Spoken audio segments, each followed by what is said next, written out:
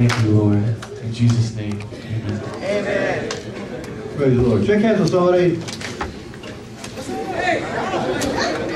you see.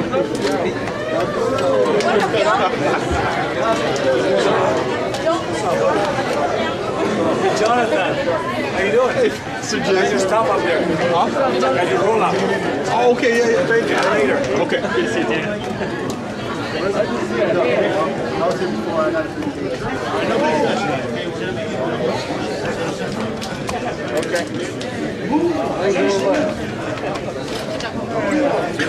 Oh, give somebody a hug. Just turn around and give somebody a big hug. Get a hug, John.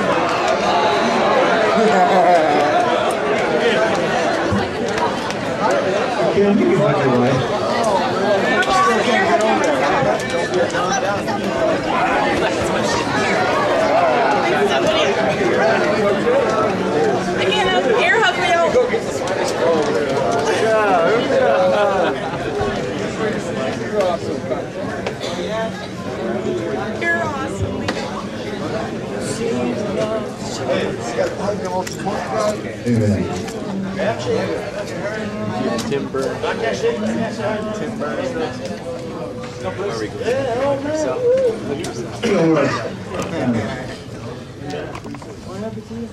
in the corner. We're here, Leg over your leg. part of the body of Christ. God's working, accomplishing what He wants to accomplish. Because He made us. You know God made us for a purpose and a reason. And He leaves us here for whatever the plan He has for us, and He takes us home. We've had one of our disciples here had an impact on big time on me. And he, he went to be with the Lord. Amen. And if we could only catch, when we have our own mind, when we make up our choices, how messed up things get, big time. Let me what I'm saying. But we allow God to work in us, He just fixes things. We still got that battle going on inside, but you know, then it's, it's kind of like what He said on the cross, now it's finished. And you know, when we when we get down to this and turn our life over to God, it's finished. I mean, the sin that has been running rampant in our life has controlled us, no longer has control. Well, this young fellow that was here was a Native American. And all I can tell you, he was a oh. character. Come here, young man. Yes, sir. He was a little bigger than bigger than him, but he had the same kind of haircut. Now I don't know about you, but there's something inside me. I'd go up and shake his hand. You're gonna have to get a haircut, or you're gonna have to leave. Get a haircut. Here you go. I don't know how he did it, but he just he'd get all tickled. Thank you, sir. Robert, you're not Native American. Stop. But he turned his life over to Jesus, and he still had about his ups and downs. But you know, he, he kept trying and coming and searching and seeking the Lord, and doing outreaches. And he and Vicky, because they're both natives, were working the reservation, just trying to get Jesus, the light to shine down there. Well, I'm going to get Vicky to come up with me. Just come up, Vicky. He, he had cancer, and he just passed away. And so we just want to take a couple minutes tonight, just to reflect on, how old was he? I think he was 37. Going on 10. It was fun, I loved him. Everyone. Um, my name is Vicki Slaughter, and um, I'm a tribal member from Gila River. I live in District 6. My family's from District 7. And um, Jesse Austin was our brother in Christ who went home to the Lord. He um, was in prison when uh, someone went to minister to him. I believe that was Pastor Gator. And um, Jesse made his way here and went through the mission, got into church on the street, and uh, he was tired, uh, like Pastor Walt said, of running and gunning. He had been in trouble all his life, and uh, in and out of jail, in and out of prison, and he knew he wanted something. different. And he found that here. And um, it changed his life because he was a very hard person, and a lot of you remember that and know and knew and know what I'm talking about. But when he came here, he gave his life to Jesus. And it changed. I mean, I watched a person come in here that was very hard and very rigid. And when he left, he didn't he didn't complete phase one, but he left and he went to Gila River and he continued to do the outreaches. Before um, before he left, he was able to go out with us to help build a church in Gila River, to clean yards, to give bikes to the children from PFA, to give turkeys to people, to our people from Gila River. He was very happy and very proud of that because he had done so much bad and so much wrong to our people that he said, you know, Vicki, I want to make it right. I want to do something good for our people. And so God gave him that opportunity to do that. He gave him that opportunity to mend those broken relationships that he had with his family. He got his children back to reconcile with him, his older children. He got to reconcile with the mothers of his children here, married them, but that's what he wanted. He was forgiven by his family for doing all those wrong things. And in the end, when he got to go home, when he was diagnosed with cancer, he was in jail. He was in, in Sacaton jail. He wanted to come back here, but the Lord had a different plan. He was in Sacaton jail or Gila River jail. They found out he was sick. They sent him to the hospital, and that's where they found out he had cancer. It traveled real fast. It took, it wiped out his kidneys real fast. He was transferred to three different hospitals within two weeks, and the police they let him go. They said, we're, we're not going to watch him anymore, okay? So you can go visit. So I went to visit, and his family got to visit.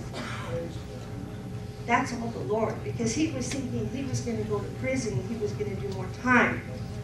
But you know, when God intervenes, and it was God's plan, it wasn't our plan, and we don't know what God's plan is.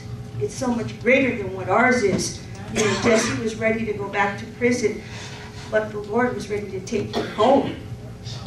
He was done. He had finished. You know, he had learned what he needed to learn. He had come to terms with things, and he was ready. And the last time I saw him, he was happy. He knew what was going on, and he wasn't in pain. And that right there is his testimony for the Lord. And he was one.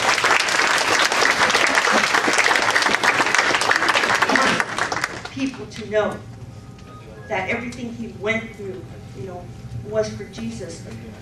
That he would want people to know that even though you've been in trouble all your life and you didn't have an eighth grade education, you know what?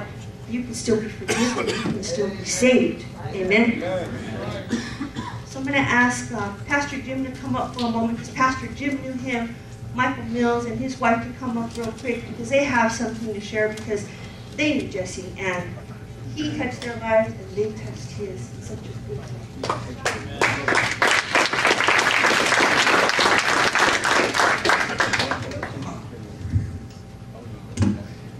Um, I wrote some notes down here real quick. I wrote on here, sense of humor, heart of gold, bad temper, very naughty, but very committed to being a Christian. He was, he was naughty, man. That was, he, I think he was phase one three different times, never for longer than maybe six weeks or two months. And uh, he, he tried he had an alcoholic family, very severely alcoholic family, a very abusive dad, abusive brothers. He had, to a certain extent, brain damage from his dad hitting him in the head so much when he was little. Uh, so physically abused, always told he was a loser, a bad kid, a dummy, you know, and he'd grown up with this. Um, but he loved his mom and he loved his five sons. I used to, uh, I managed uh, a couple other properties before, a couple years ago, my father's house over there.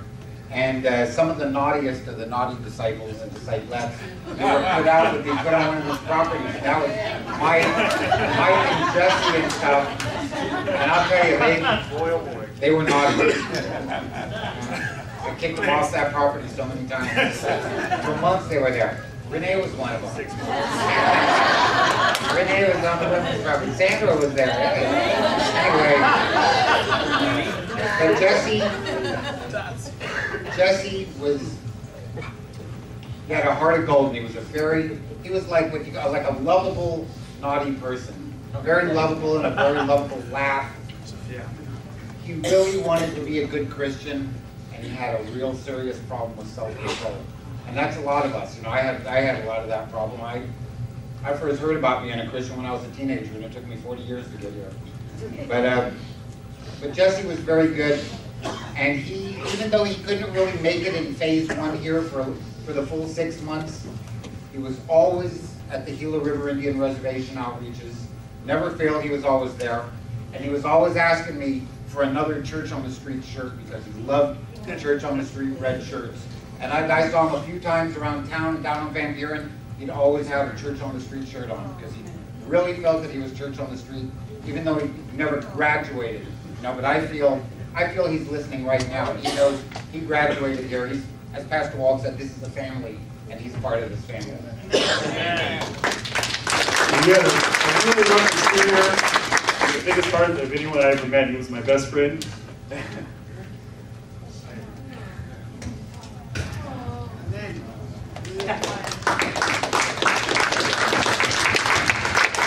You know, it's, so delightful.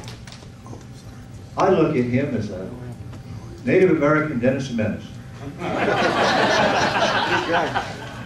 He, when, when you were around him, and he was, you know, not tormented by that anger, he loved life, and he just, it just bubbled out of him.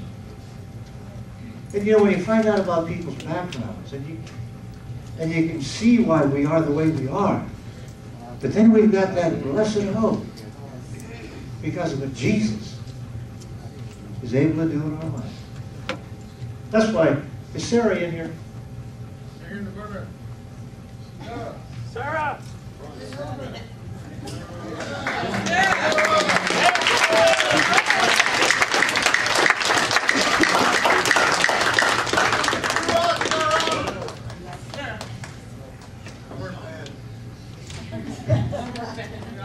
Everybody ready for this?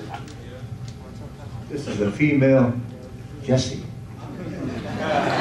Dennis Menace X.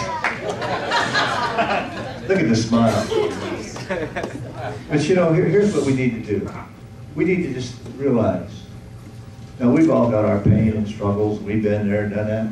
Just think about, let, let's concentrate a few minutes a day on what's going on, what's happening down the Indian Reservation. And realize when the light shines in the darkness, what God is able to do in people's lives.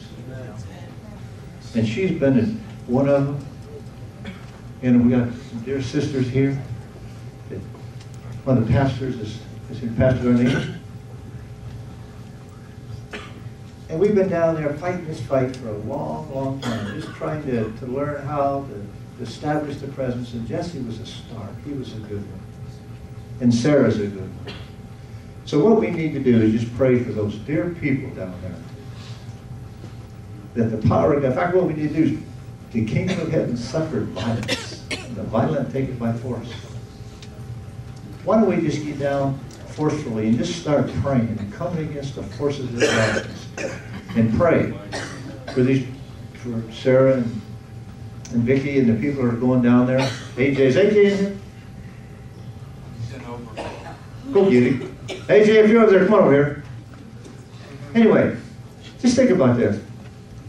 It's when you know, it's fun to watch people grow. I don't care how old they are. Isn't it fun to watch kids grow up, just the, the, the little ornery streak in them? And so we're, so we're little ornery. So what? God knows us. He loves us. He's more than able to straighten things out and give us a peace and a hope.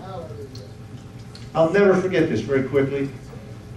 And Vicky had a cousin that just recently committed suicide.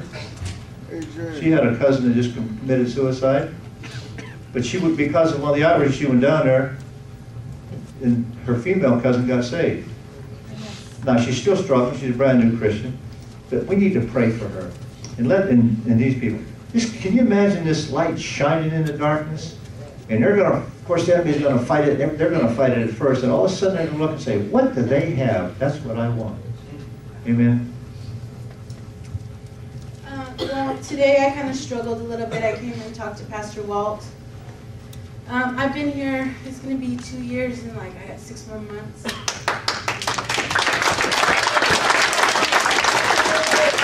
I went to talk to him to tell him that um, I might want to leave.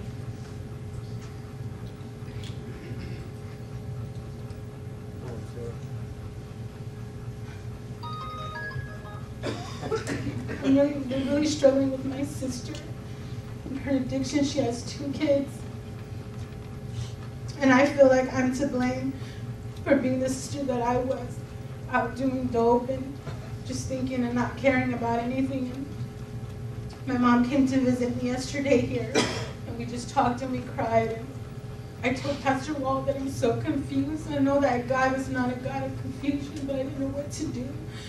I want to stay here and serve the Lord, but I also I feel like I need to be there for my family. And you know, I said if, if I leave my commitment, you know, where would I be? And you know, he suggested I stay, which I kind of, you know, my heart, I know I need to stay, but it's just a struggle. Just please just join with me and pray for her because I know that we all have families that are lost and are doing what we used to do and we don't realize what we do. I didn't realize what I was doing until I came here and I, and I got the relationship with God and I feel like I feel like it's a punishment, but it's also opening my eyes to see what I did. And I'm really, just really, really struggling. I'm really, Robert Walker, talked to him today and he helped me to realize what, what we did and how long it took us to get here, that we're here. And that's what's important. I know so leaving is not the answer, I know that. But I'm just really, really, really, really struggling right now. It's really hard. So just please keep me in prayer. Especially my sister, I don't understand. I don't understand. I'm angry. I'm angry at things that happen here. I'm angry at things that happen there. And I, I don't want to be angry. I don't want to be angry anymore. You know, God took that and He is my, my joy and my strength. And Pastor Walt helped me to look at scriptures today. And he just, I needed him. And the Holy Spirit used him to help me today because I was ready to just walk out. I was ready to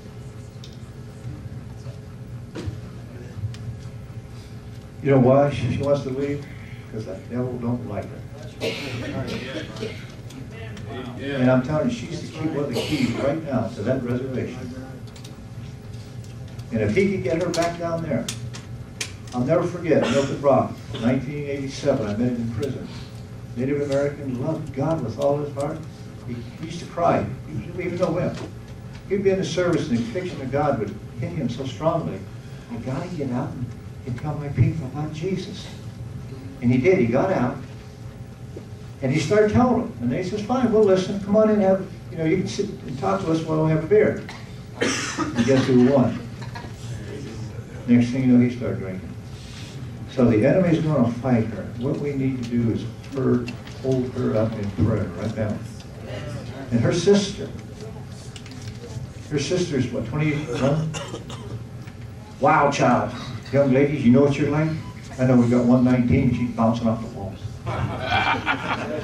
But that's fine, that's what young people do. And she don't want to hear nothing about the Lord right now, she wants to do his party, she's got two kids. And, and what we need to do is, first of all, we just need to pray for those people down there. Pray for her, pray for Sarah and Sarah's sister. How many willing to make a commitment to pray? Let's say five minutes a day. Everybody wants to make a commitment, five minutes a day to pray. Stand up. You're going to pray for Sarah and the Indian reservation down there, the Native Americans, for five minutes a day. I mean, pray as hard as you can. Amen? Now let's pray right now that she has peace, that she realizes that the enemies won't fight her, but she's got some people behind her, she's got a church behind her, people that care, and she's going to be more than able to endure. And then when God starts using her, God's going to God's going to really accomplish something. Pastor Darlene, would you go pray for us? Aunt Angie, I'm sorry. Aunt Angie, I got them mixed up. Come on up here, Aunt Angie.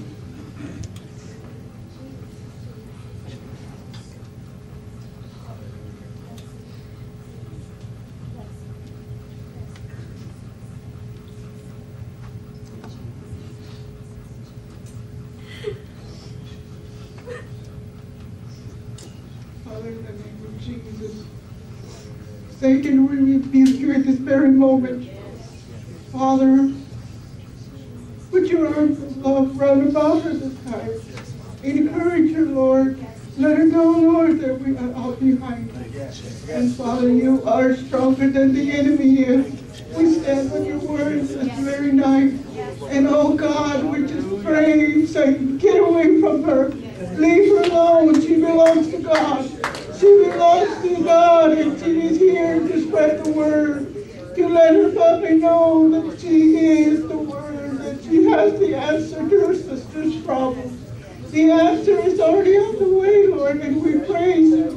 We thank you, Father, in the name of Jesus. Father, just bless her tonight. Bless her, Lord, over and over and over again. You are so worthy of our praise, Lord. We just praise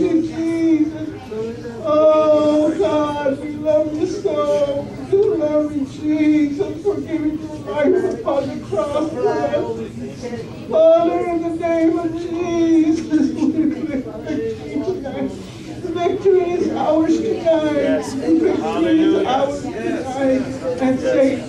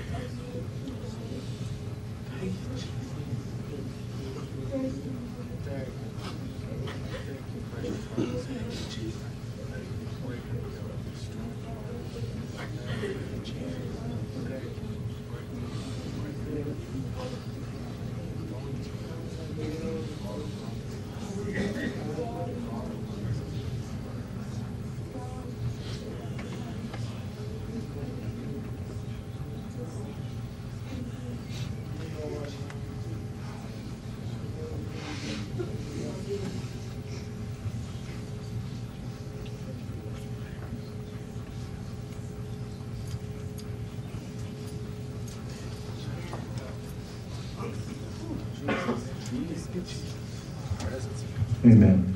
Feel better?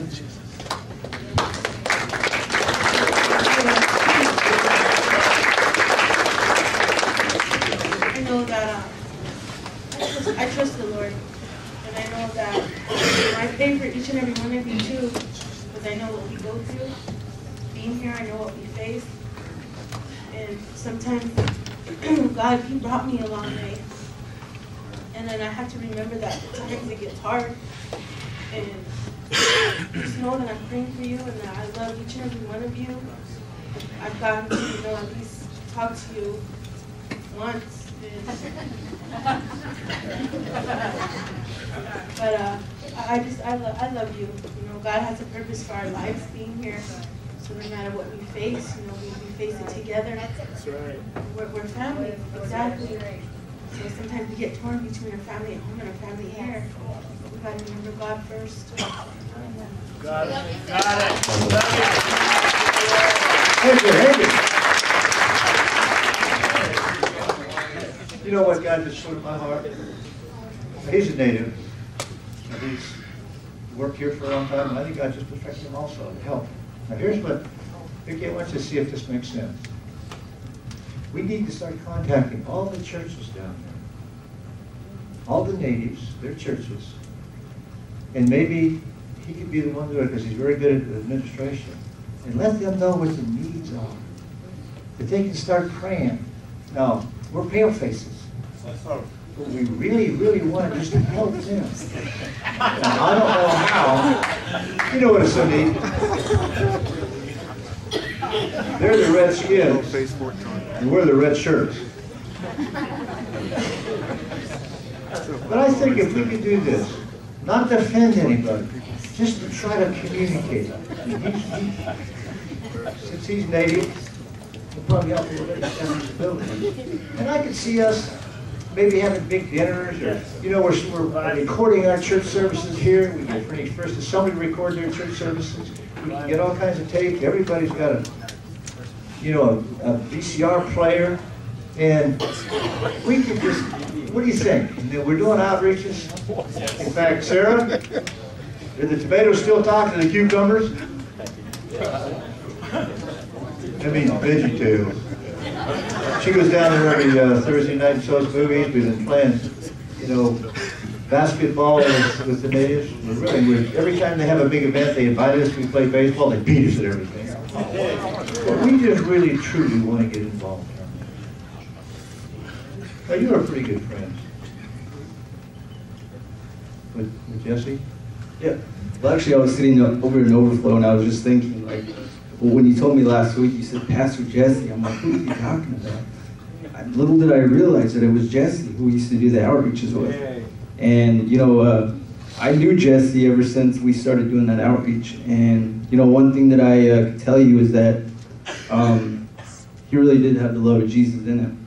You know, uh, we were both, uh, you know, on, on different spectrums in, when we were in prison, but because we came from different tribes. But we gathered, we, we came together for the sake of Christ. And that is how I know that my brother Jesse, you know, had the love of Jesus in him. You know, we, uh, we went out there and, you know, we gave it our, our all. And we went out to those outreaches together. And, you know, just, just seeing him, you know, labor and just talk to people, it was a blessing to see because, you know, not too many, uh, I haven't really crossed too many Native Americans here, but, you know, to see Jesse, that really gave me encouragement too. You know, because, you know, as a body of Christ, you know, we need to encourage each other and love each other. And that's one of the reasons why I also stand up here today is because he's sown into my life as well. And, you know, I just want to, you know, send prayers out to his family. And, you know, I didn't know it was Jesse until now. But, you know, I, I pray for his family and he's, he's done a lot for this ministry as well as for the outreach as well. And, you know, praise God that he's with uh, Christ right now. Now, I'm not perfect. Jesse wasn't perfect. AJ's not perfect. Vicky's not perfect. Nobody's perfect. Sarah, let's just come together as a family to do the work. I believe God's called him to help down there. And he's called each and every one of us to do our part. How many's willing to just do our part? You know, we start doing it here, we're gonna go to Mill Avenue, which we go, we're gonna have a different mentality as we go on the streets, as we go to the jails, we go to prisons, a lot of the kid out, kids outreaches in nursing homes. We need to go show them the love of God, the power of God, and have the fight, the fire in us. Heaven of, kingdom of heaven, suffer violent, but the violent taketh by force. And in other words, we need to do this with all our heart. Amen? Let's give the Lord a good praise offering.